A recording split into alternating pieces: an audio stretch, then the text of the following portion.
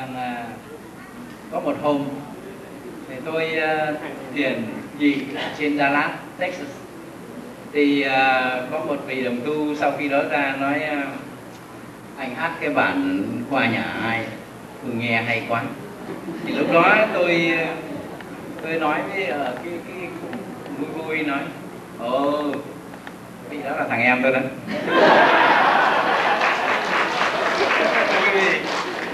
là tôi cũng không biết uh, nhạc sĩ nổi danh anh uh, uh, Nhật Ngân.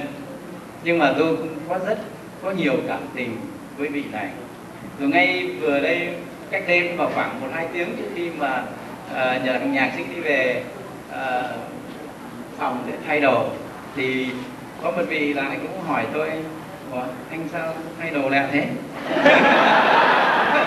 Tôi uh, không có nổi tiếng. Tên là anh Nhật Ngân, nhưng mà được cái diễm phúc, cái may mắn là mặt hơi giống anh. Và quý vị không thể tưởng tượng được rằng anh Nhật Ngân sinh ngày 24 tháng 11 trong cái ngày mà Thanksgiving lễ tạ ơn. Thì anh sinh vào buổi chiều, thì tôi sinh vào ngày 25 tháng 11 vào buổi sáng hôm sau. Có nghĩa là tôi thì tôi vào khoảng vài giờ nhưng mà tôi nói với Nhật Ngân này đương nhiên thì thưa là bây giờ anh vẫn là thằng em tôi tại vì anh chưa tỏ pháp.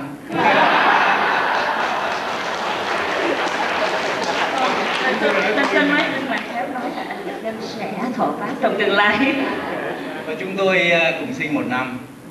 Cùng sinh một năm. Cùng chỉ có cách nhau có mười mấy giờ. Và, và hôm nay và hôm nay là ngày tiên trong cái dịp và trình diễn văn nghệ ngày hôm nay thì hai anh mới được gặp nhau ngày hôm nay à, khi thưa quý vị là hồi nãy tôi có nói đùa với anh à, Nhất Nguyên này, này. tôi nói bảo là chắc ông già tôi đi lạc ở đâu đó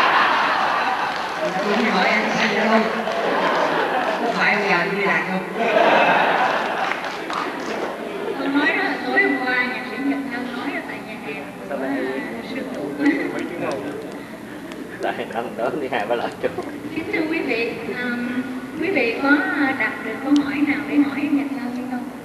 Bất cứ câu hỏi nào anh Nhật Ngân cũng trả lời hết.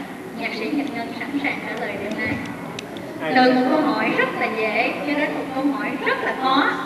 Anh sẽ sẵn sàng trả lời hết.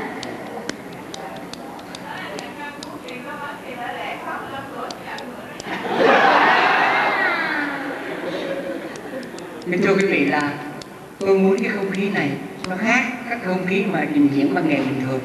À, khán giả và người trình diễn là một. Cái kia là xài theo cái chữ mà trong nước bây giờ đang xài đó là mình nên giao lưu với nhau rõ ràng hơn. Thật sự là mình muốn mình gần gũi với nhau hơn.